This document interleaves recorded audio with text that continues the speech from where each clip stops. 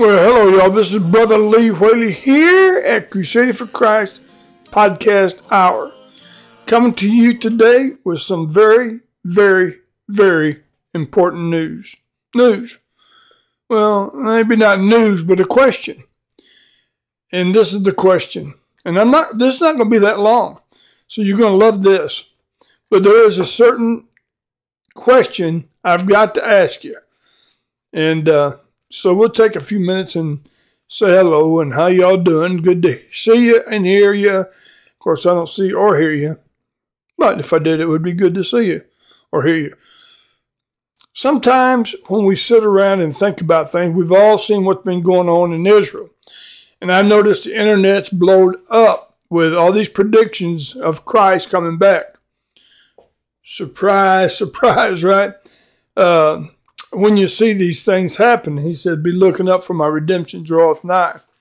And then you got the skeptics say, well, it's always been going on. That's prophesied in Peter, you know, talking about the scoffers that say that. But believe me, uh, it's going to, I mean, th- things are just unfolding so fast to almost make your head spin, which is exciting to, to me. Uh, I mean, I've been looking for this for a while. So, what I want to talk to you today about is couple scriptures I want to read, and then that's going to be it. But I want to leave. I wanted to leave you with a thought because I love you, and I want to see you in heaven. Do you understand that? If you understand that, please just say, "Yes, Lee, I understand that." Thank you. Amen. Anyway, and you over there said thank you. So thank you for listening. But here's the here is the here's the massive question of all questions. Could the Bible be 100% right on what it's predicting? Absolutely. You remember the you remember infallible, inerrant, inspired. Infallible, inerrant, inspired. Oh my. Inspired, inspired. Anyway, so we know the Bible is the truth. It is the Word of God. It is inspired. It is inerrant. And it is infallible. No mistakes. But we've got all these people predicting now, oh, Jesus is coming back. Well, that's been going on for 2,000 years. He is. But I want to just read you some couple scriptures today. Get it in your mind what I'm trying to do here. I'm trying to make you think. Let me ask you a question. How many of y'all have ever been on a vacation and um, you were going to a place, maybe a new place or maybe not a new place, but you were going and um, and you needed a place to stay, so you made a reservation. Oh, I know where this is going. Oh, really? You're that smart. Anyway, so you made a reservation, and uh, first of all, you if you work, you had to get off work. You had to make sure it was on your um, your time off. So you call the hotel. The hotel's got vacancy that week, and you make a reservation. Reservation. Remember that word, reservation. And then, uh, if you're going to a new place, you got to know how to get there. So you get your Google Map out and or your Waze, and you look at your routes to get there and you figure out how you're going to get there. And by the time you've done all this now, you've got all this figured out, uh, the day comes and it's time the family pack up the car or the bus or whatever you're taking, SUV, whatever it is. And you pack it up and you're ready to go. You fill the car up with gas. If it's electric, you've had it plugged in for 24 hours and, you're and then you're now ready to travel the whole 100 miles a little joke. Anyway, so now you're ready to go. You've made reservations. You're ready to go. You've packed your bags. Everything's ready. And you get in the car, you plug it in to your GPS, and you're on your way. Few hours later, no matter wherever you're going, maybe longer than that, but you get to your destination, and sure enough, you get to the, the hotel, and the hotel lobbyist uh, is is there, and you check in, and the room's ready, and you get up there and you start your vacation. Now, why I say all that?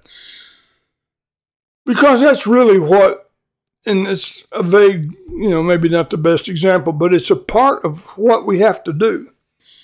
And here's what I want to read to you right now. And this is the few scriptures I want to read to you Matthew 24 42. Now, here is my Bible, the Holy Bible, the Word of the living God. Matthew 24 42. Here's what it says Watch therefore, for you know not what hour your Lord does come. You don't know. So, this is when Jesus is talking to the disciples and they're asking him when he's coming back. We've talked about that in my last podcast. And, um, and this was the Jews talking to him about coming back and setting up his kingdom. Let's keep that in mind too. And, but, he, but here's the word. here's the word I want you to listen to. Watch, therefore, for you know not what hour your Lord does come back. And they said, Well, and as he goes down the next couple verses, verse 44 of Matthew 24, he says, Be therefore be ye ready, for in an hour as you think not, the Son of Man comes. He's telling his disciples, Don't worry about the time, just be ready. Make your reservation. Get your reservation in. And how do you do that? Well, John 3 3 tells us how do we do that. John 14 6, Jesus said, I am the way, the truth, and the life. No man comes unto my Father but by me. John 3 3 says, Unless a man is born again, he will not see the kingdom of God. Acts 4 12 says, Neither is there salvation any other, for there is no other name given under heaven whereby men must be saved. Acts 4 12, back there. But anyway, uh, so these scriptures are very important to your reservation. You must be born again. I even heard a preacher walking down the street talking about you don't need to repent and all this stuff. I don't want to get into all that, but you do. So anyway, so we got to get ready to meet God. How do you do that? You get saved by the grace of God through grace, for by grace. Ephesians 2 8 9, by grace are you saved through faith. That's not of yourself, it's the gift of God. It's not of works, lest any man should boast. So we get ready. And we're looking. Okay, now we've gotten ready. I got ready on November 9th, 1975. That's when I got ready. That's when I made my reservation.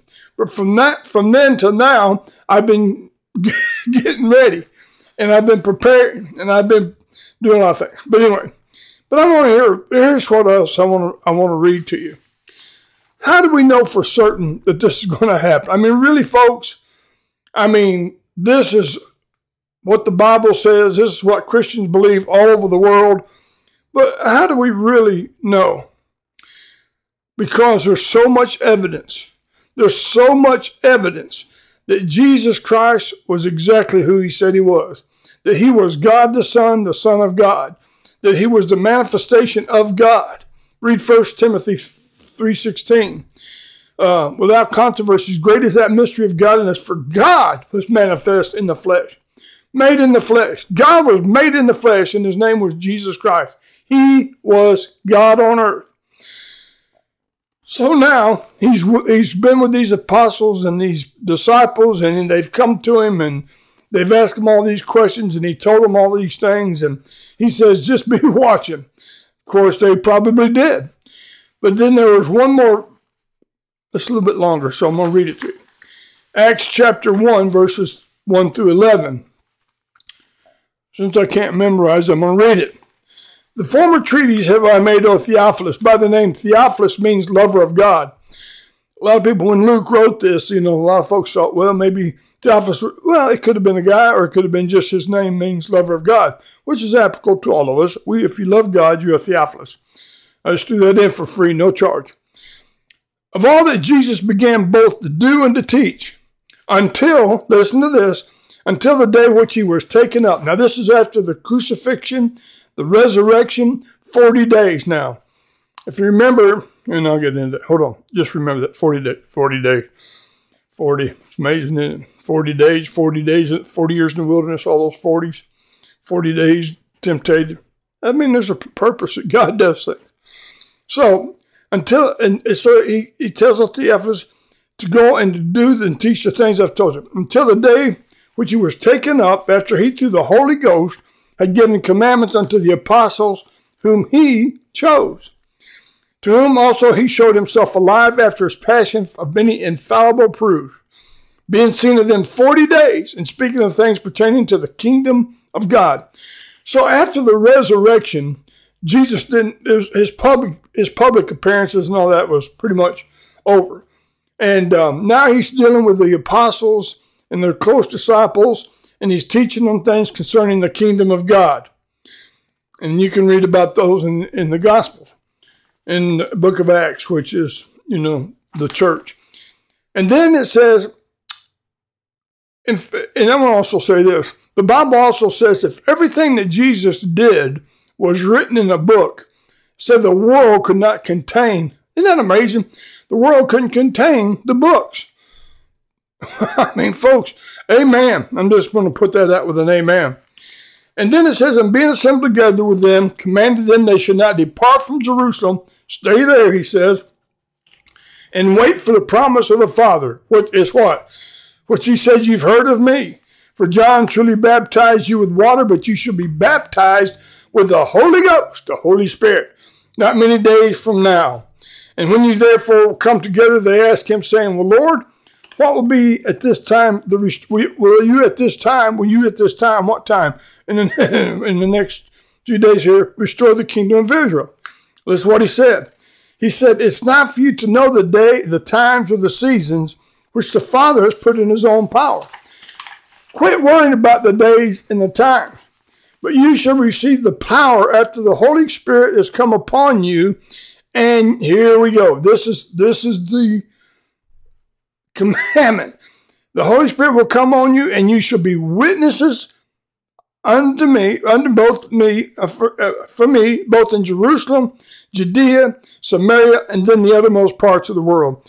He said, here's the most important thing. Once you receive the Holy Spirit, which they did at, you know, at Pentecost, which is 50 days after Christ uh, died on the cross, just like 50 days after uh, the children of Israel came out of, of, the Passover Sinai. Anyway, a lot of stuff there. And it said, here's what I'm, I'm trying to get to this. I'm, I'm just really trying to get this. Oh, damn, I forgot again about my phone. Um, sorry about that, folks. I got to turn that off. Anyway, he says, and when he spoke these things, while they beheld him, he was taken up in the cloud and received out of the sight. Gone. Boop. And while they looked steadfast toward heaven, uh, he, as he went up, these two men, angels of God, stood in them by white apparel, and he says this, You men of Galilee, why stand you gazing up into heaven? The same Jesus which was taken up from you into heaven shall come in like manner as you've seen him go into heaven.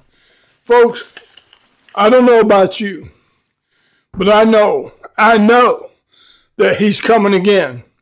This is my heart. I'm just, I'm just begging you. I, I'm begging. Christ didn't beg. He told them and he said, This is what you do. You must be born again, all those things. He says, and then he went on his way, and if they believed him, fine. If they didn't, he just shook the dust of the feet and went somewhere else. But I'm begging you to listen to me. We are on the brinks of something huge in this world. What you're seeing now, I believe with all of my heart, and I've seen, you know, we've seen things happen over the last 50 years. But this is the biggie. I think, I, I mean, I really believe that. Because in my heart of hearts, I, you just see everything has come together now. The one world government, the one world church, the one world money system, everything's in place. And the biggest key is Israel and, and their enemies. The king of the north, the king of the east, the king of the west, the king of the south. They're all they're there. Look at it. China, Russia, Iran. And you see the West is everything west of Israel. I mean, unless you go completely around the world. Everything west, that's talking about us. And right now, look around us in the United States. We've got anti Semites everywhere. They're having parades praising these Hamas killers for killing all these Jews, singing gas to Jews. Folks, I don't know about you, but it, it absolutely busts my heart. Now, I'm going to ask you, and then this is going to be it for today. For today. Are you ready? Have you made your peace with God? I want you to just stop and ask yourself right now, wherever, I don't care if you're driving, listening to this, watching it on YouTube, watching it on Facebook, listening to it on Spotify, wherever you're listening to this, you've got to ask yourself a question Am I ready to go? I'm talking about to meet God. Have you made your peace with Jesus Christ? Do you know him as your Lord and Savior? Has he, has he touched your heart and opened your eyes to show you that you need to be saved?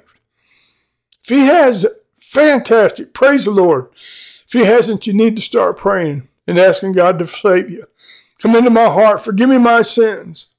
Wash me in your blood, the blood of Jesus Christ. Hebrews 9:22 without the without the shedding of blood there's no remission of sins. Folks, Jesus is coming, and he's coming soon. Israel's in a real pickle over there. Psalms 122, pray for the peace of Israel. Let's pray for them. Let's pray for those that aren't saved. Would you do that with me right now? Would you just close your eyes? If you're driving, don't close your eyes. If you're driving, just pray. Let's pray for the world. Let's pray for our leaders. Let's pray for our families, that folks that's not saved. Father, we are so thankful, God, that we can bow our heads and know you hear us pray. Lord, our world is in turmoil. Our families are being broke up. People are being slaughtered around the world. The world's in bad shape. But God, you are still absolutely in charge. And we pray for our leaders. We pray for our churches. We pray for our lost people that they'll be saved. And then we pray for the saved that they'll be blessed and understand the door is getting ready to open for us and shut for the world. Lord, I love you and I thank you for this time in Jesus' name. Folks, I love you. Trust Christ. Get saved. Be born again. And I'll see you in heaven. And listen, I'm not going to snow, I'm not going to sugarcoat this. If you die without God, you're going to hell, and it's a lake of fire. The Bible says that burns forever and forever. And I'm not trying to scare you, but I'm just trying to tell you there's coming a judgment, one of these days. And it's already really started. It's already started. And there's another podcast I need to do about that strong delusion that they're going to believe a lie. It's coming. Love you. Have a great day. Talk to you soon here on the Crusade for Christ podcast hour.